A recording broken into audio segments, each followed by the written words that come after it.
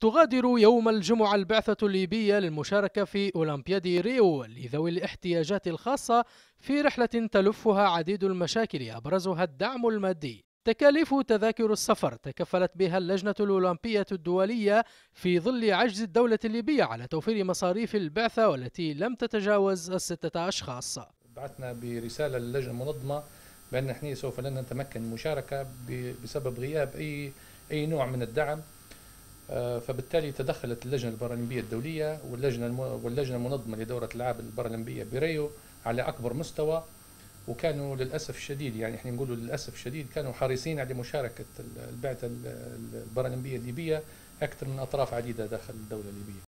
83 رياضيا كان من المفترض تواجدهم في أولمبياد البرازيل إلا أن الأمور المالية كانت عائقا كبيرا حتى في توفير معسكر داخلي للرياضيين. وهذا الحقيقة حرم كثير من الرياضيين اللي هم آه، حتى تاريخهم الرياضي آه، طبعا يؤكد أنهم هم حتى مشاركتهم تكون منافسة. حالة من الإحباط تصيب أعضاء البعثة الليبية في ظل الإهمال المتكرر لهذه الشريحة. يعني للرياضة هذه آه، ما حصلتش دعم حقيقي من الدولة؟ يعني عبر يعني كل الدعم اللي يجي للرياضات ذوي الإعاقة هو دعم مجاملة فقط.